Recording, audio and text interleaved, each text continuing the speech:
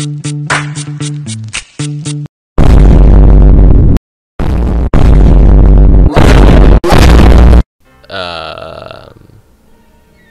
wow. Thank you guys so much for the amount of support on my last video. That was insane. Hopefully you enjoy this one. But yeah, just to begin this video, I wanted to say thank you for all the support on the next video.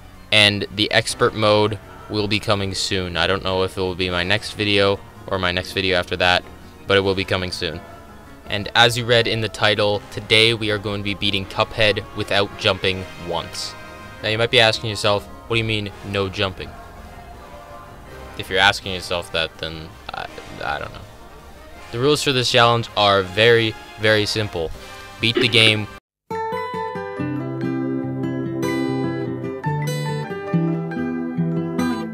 without jumping.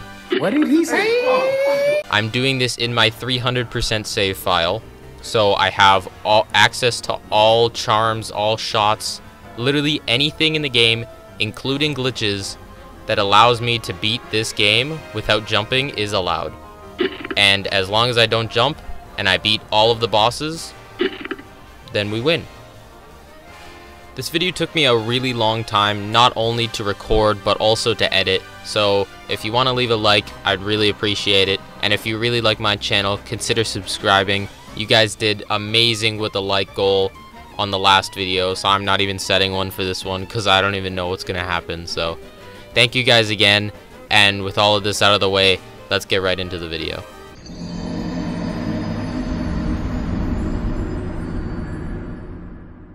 And as always, the first boss is the Root Pack.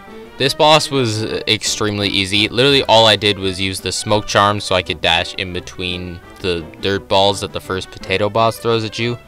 And then for the onion boss, I literally didn't have to do anything. All I had to do was dodge the tears that were above me. That's it. It wasn't that hard. And then the carrot, again, wasn't that hard. All I had to do was stay low. Obviously I can't jump, so I had to stay low. But I basically just used the roundabout shot, so I hit almost all the carrots. I also used the crack shot, so that made it way easier because it hit the carrots almost every single time. So in the end, this boss wasn't really that difficult. Uh, it was a nice, easy boss to get started in the challenge, but we had a bit of a problem with the next one. Oh, wait. Um. Um.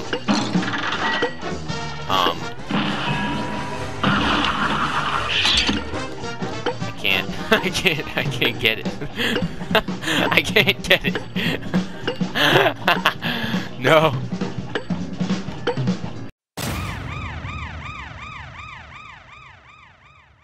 This was the first boss in the challenge, obviously, because it's the second one, to actually give me a challenge.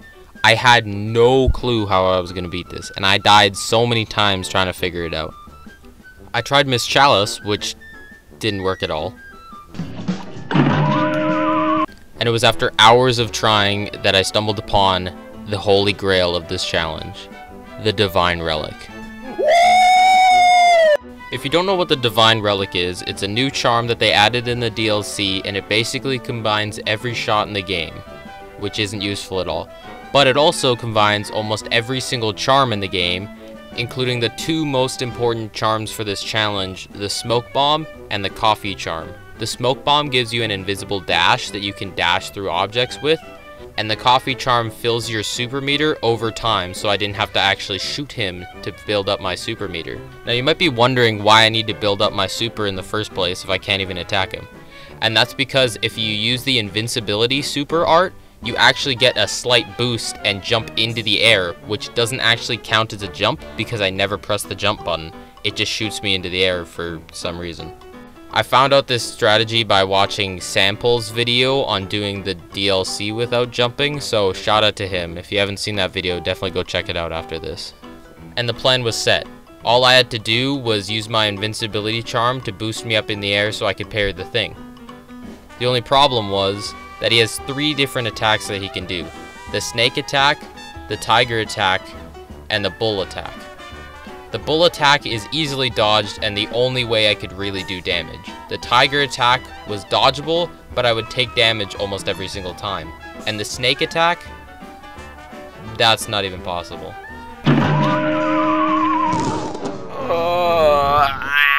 The only problem with this plan is that in between super uses, I would have to dodge his coins for like two minutes straight. And it got really annoying really quick. What? Bullshit that hit me. But finally, after doing this boss for over an hour, I finally got a run where I was able to knock out. Fuck.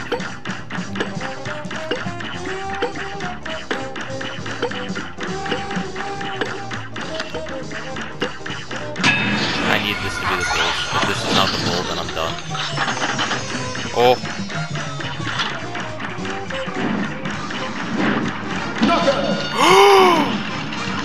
Oh my god! If you want to see how I beat all of these bosses, I'm going to leave a full compilation of every single boss fight linked down below in the description, so you can watch that if you want. Anyways, we're on to the next boss fight, which is Goopy Le Grande. This boss fight is really easy. You don't even have to jump at all, unless you want to get the parries, but other than that, you don't need to jump ever. All I did was use my smoke dash if I ever got any trouble, and that's pretty much it. And we move on to the next boss, which is Hilda Berg. And this is a plane level, so I can't even jump. So, plane levels were basically just a walk in the park for me because I didn't have to worry about anything. So, they were kind of just like a chill thing that I got to do in between boss fights where I didn't have to worry about whether or not I could actually beat them because I can't jump. I'm mostly going to skip over all of the bosses that didn't really give me a challenge because they're not as interesting as the other ones. I'm still going to show them in the video, but I'm not going to give them as much highlight as the ones which are really hard without jumping because they're just more boring. But anyways, we move on to the final boss of Inkwell Isle 1, which is Cagney Carnation. And it's in this final boss fight where we encounter our second challenge of the challenge, which is vegans. Eat your vegetables! I mean, roots. This boss fight didn't just have one problem, it actually had two. The first problem being that it had a move that was completely impossible to dodge, which would just make me retry the match instantly. But it also, during its final phase, I had nothing to do against its roots attack because the roots were on the bottom of the map, and I can't jump. So I couldn't go anywhere. The root problem was easily solved by just using my invincibility power up to boost myself up on top of there and dash in between the platforms so I never had to jump. The other attack, I literally had nothing to do. There's nothing I could do about it because I could never get my invincibility that fast. So I had no choice but to restart my run if I took damage there because I needed all my hearts for the final phase. No, why? I hate you so much. You are my fucking least favorite. And then he's gonna. I. How did I know that you were gonna do that? Are you kidding me, bruh? I struggled a lot, especially during his last phase, because whenever I landed up on top of the platforms, I would just get kicked off because I was trying to dash to the other one, and I would just go through it instead of landing on top of it. And once I was on the floor, I was already dead. And that kept repeating until about an hour of attempts later, I finally got an attempt that actually worked.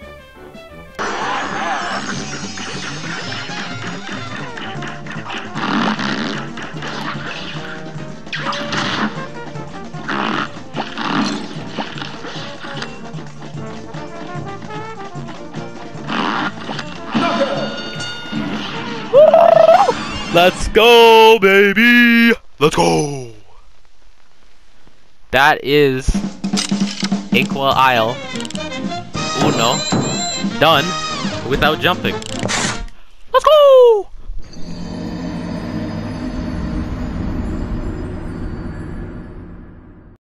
The first boss I decided to do in Inkwell Isle 2 was Baroness Von Bon Bon.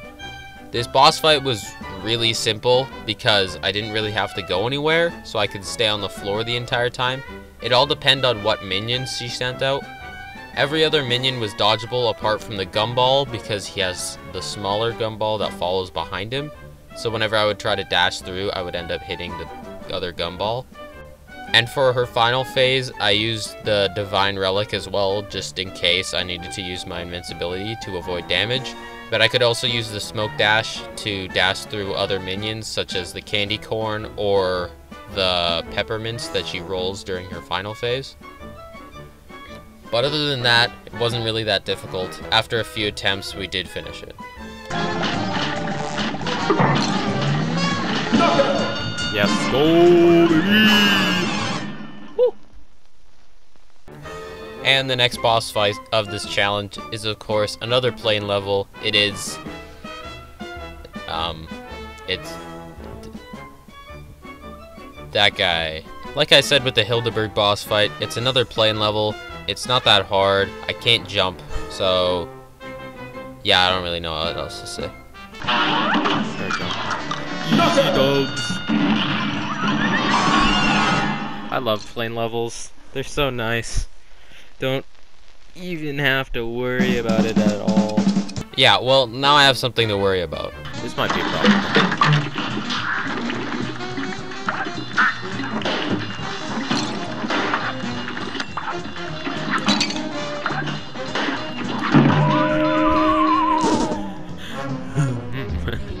Now I know this looks like a pretty simple fix. Just use Miss Chalice's dash parry, right? I don't parry those. Hmm. Well done.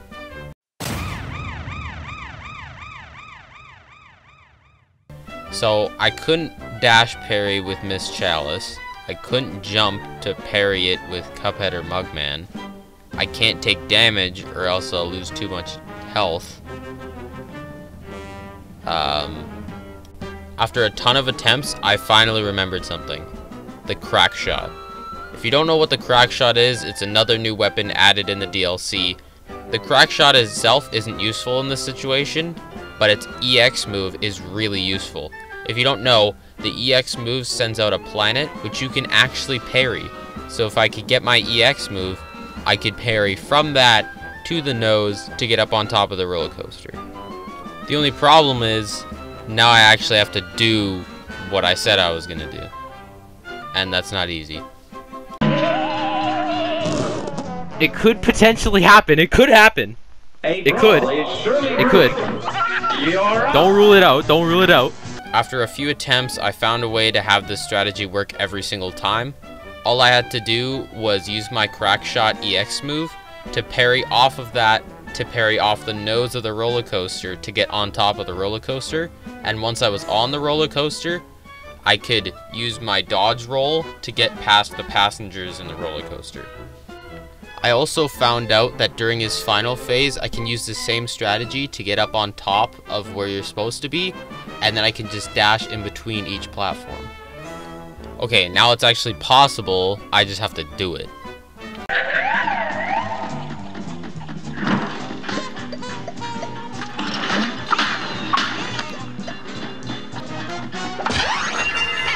Oh wait, yeah.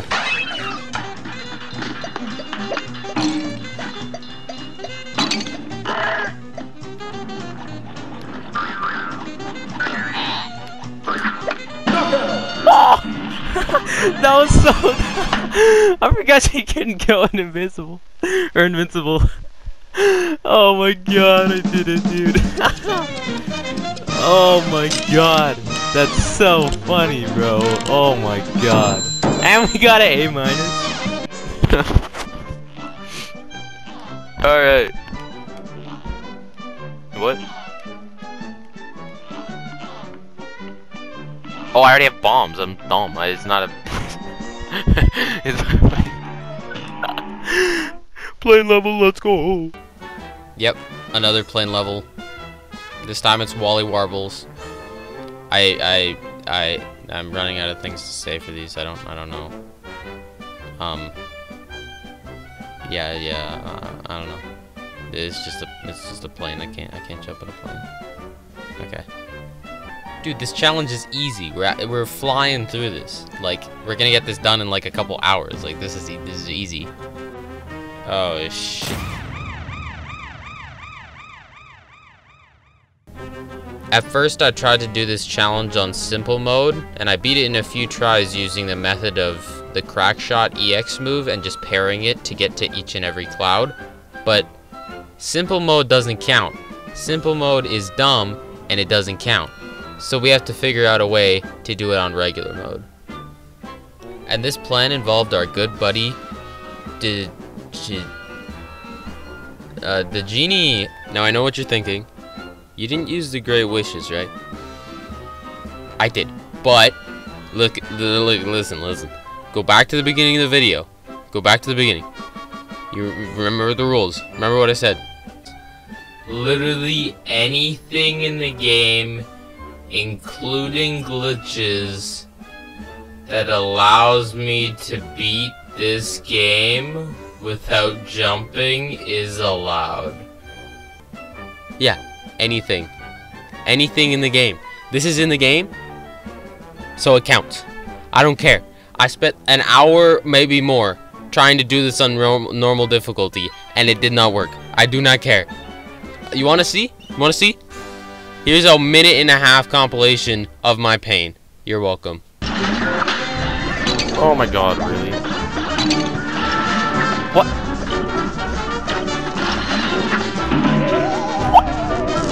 Dude,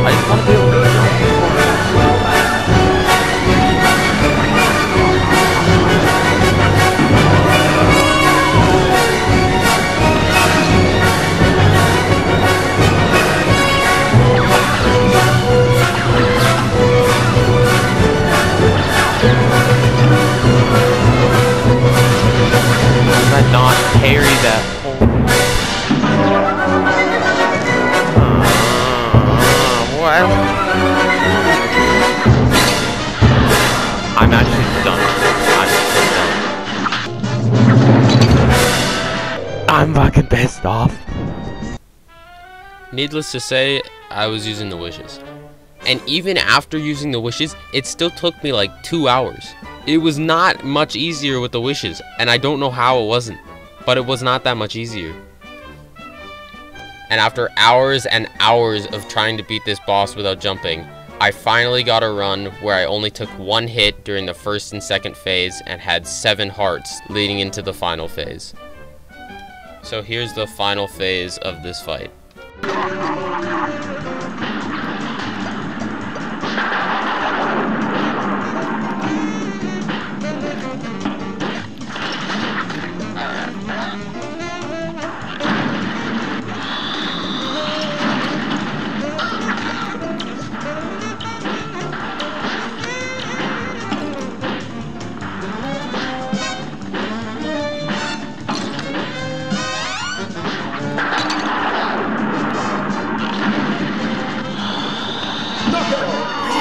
Oh my fucking god.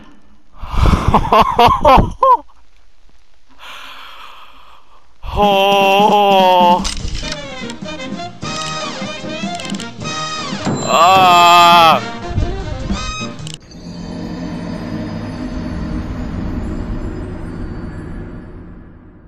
Finally, the hardest boss of this challenge is done. What?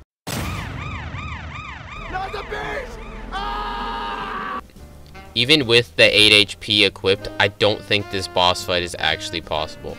I tried for so many hours and I could not even get to the third phase. I have no clue if it's possible. I used the same strategy with the crack shot so then I could keep parrying my EX moves, but I couldn't get enough of them oftentimes so I could just not stay above the platforms. So I just continuously died. If any of you at home want to try and beat this boss and you actually beat it on normal mode, let me know, post the video, and I'll include it at the end of this video because I'll make sure to shout you out because I could not do this and I had to do it on simple mode. I don't know whether or not to count this for the challenge because technically I didn't beat it on normal difficulty, which means technically I can't beat the game. But I'm not sure if there's any other way to beat it that's not on simple difficulty. Like I said before, if you beat it somehow, I need to see how you did it because I don't know how. But I was not able to beat it on normal difficulty, so technically we failed the challenge, but technically we didn't because I don't know if it's possible. So, yeah, that's pretty much it. I'm a bit disappointed that we weren't able to beat one boss on normal mode, but there's nothing I can really say about that, and we're on to the next boss. And the next boss is Captain Brinybeard. This boss was pretty simple because you never actually have to jump through any of his fight. You don't have to jump ever. So I just used the Divine Relic so I could gain my super meter over time just in case I needed to use my invincibility. And also I had the Smoke Charm so I could dash through anything that he shot at me. And yeah, it was a pretty simple fight. And we're on to the next one. This boss was another plane level, so I can't jump.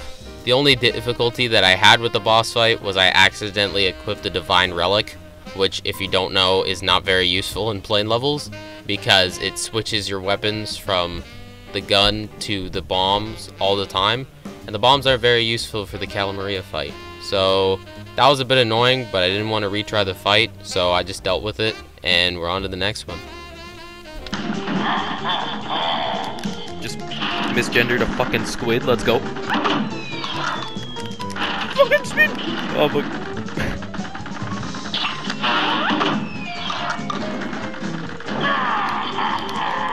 Oh man. We did it! Let's go! Our next boss is Sally Stage Play. This boss fight was going really well. I was able to smoke dash through all of her attacks, and it was looking like it was going to be really easy until this happened. Well, now we have a problem.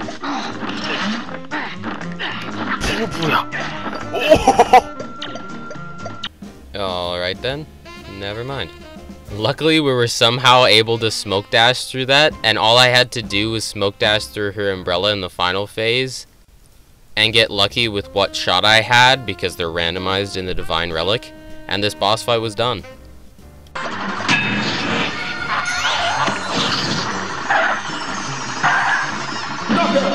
Let's go! And with her out of the way, we were on to another plane level. This time, it's Dr. Kahl's robot.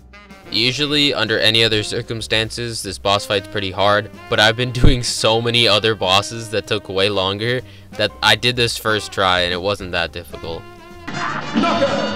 What is a wombo combo? Wombo combo? Hold on. I... this isn't even a joke. I completely forgot to add Werner Werman into the video. I did the boss fight. It was there. I just completely forgot to add it. So, my apologies for that, but this boss fight was pretty easy. I ended up just using the Divine Relic so I could have the smoke dash for when he shoots the bombs down.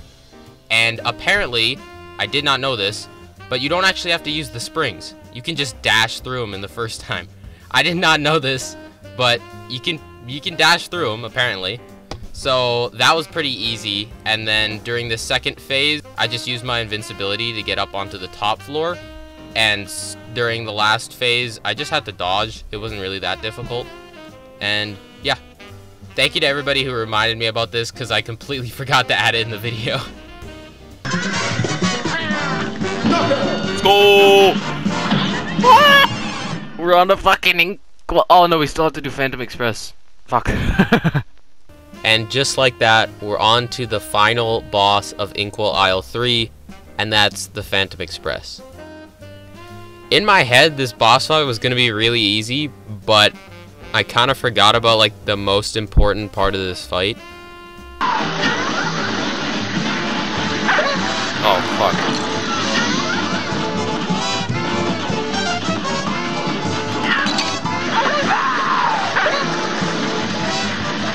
Well, shit.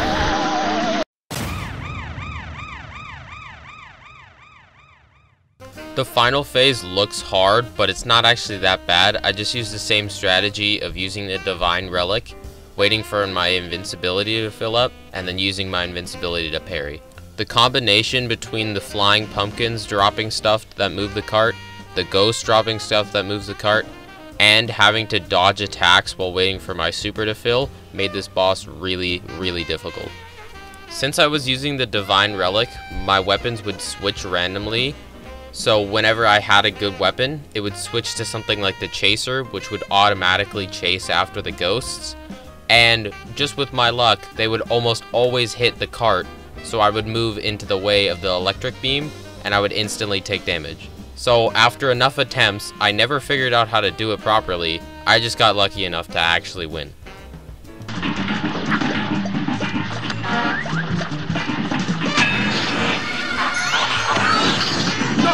Let's go! Oh my god. I want to know how long that took. Jeez. Almost seven minutes. Ah. And with the Phantom Express finally done, we go on to Inkwell Hell to fight the final two bosses of the challenge.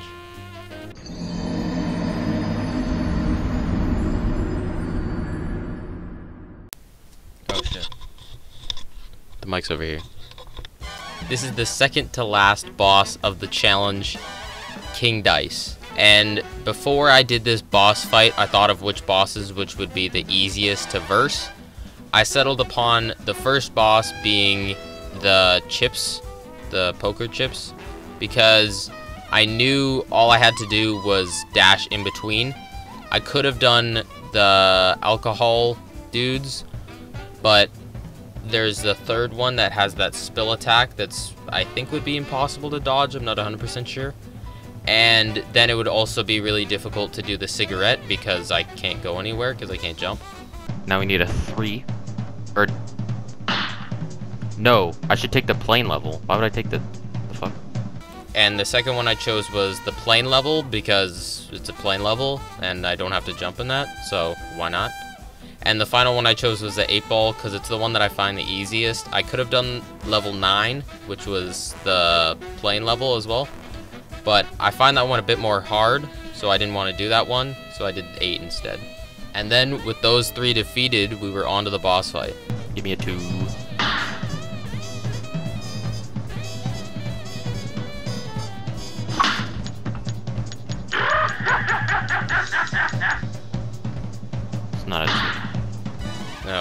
Okay. You know, I, I did that on purpose. Uh, I was I was keeping you on your toes. Um, okay, now we're on to the boss fight. This boss was actually pretty easy, because if you didn't know, you can actually stick behind his hands to avoid damage, so I never actually had to jump up onto the cards. And the only problem that I had with this was because sometimes he does the same hand each time, so, and I can't jump, so I had no way to actually parry the cards. So, if he did do the same hand, then I would have to take damage, but I got pretty lucky, and he did get it done. Let's go!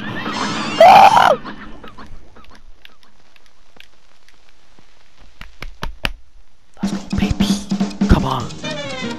And just like that, we are on to the final boss of this challenge, the Devil.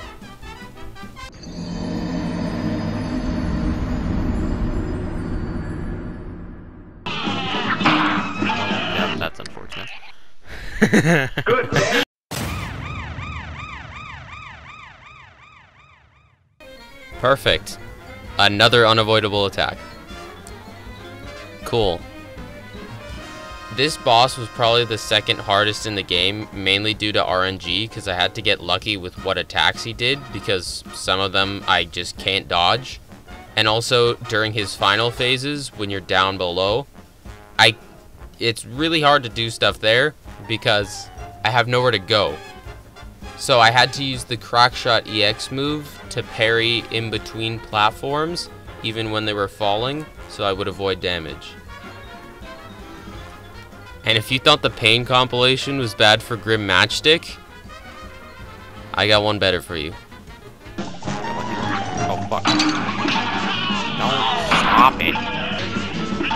I knew it was gonna do it again. I fucking knew it. You can't, like, obviously you can do it, but it, I don't understand how to not do it. What? Bro, what are you talking about, man? I just want to beat this and jump for once. I just want to jump. Like, please, bro. Get hit by that. the answer is nowhere. And at least I can have my meatballs giving me this one, bro. I hate you. A great slam and then You're actually a fucking banana.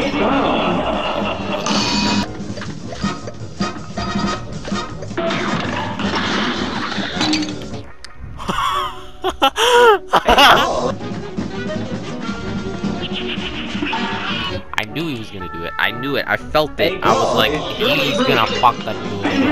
He's out of his phase. You can tell because the purple, purple guy. Purple guy. All there is is pain. this match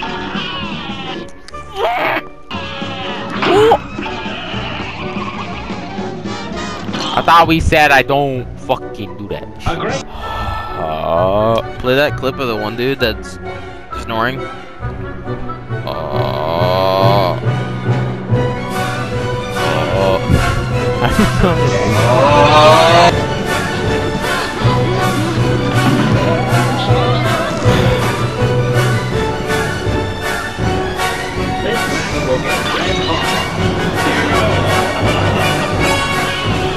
love that I'm a real I love that I'm My favorite fucking thing on the planet. In a row, baby. Let's go. Let's go! How about five? Give me five. Give me five. Give me five. Let's go! But finally, after, I'm not joking, two hours of attempts, I finally beat this boss.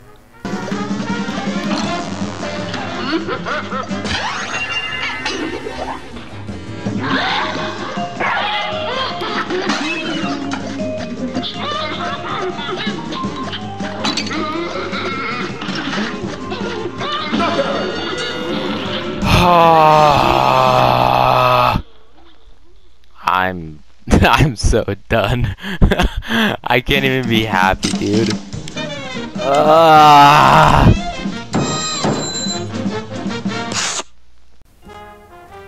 Just like that, we had done it. The game was technically beaten without jumping. Thank you guys so much for watching this video, and thank you guys so much for the support recently on the channel. I've been having such a fun time making videos, and I hope you're having fun watching them. So, thank you guys so much for watching this video. If you liked it, please leave a like and consider subscribing, and I'll see you guys in the next video. Bye.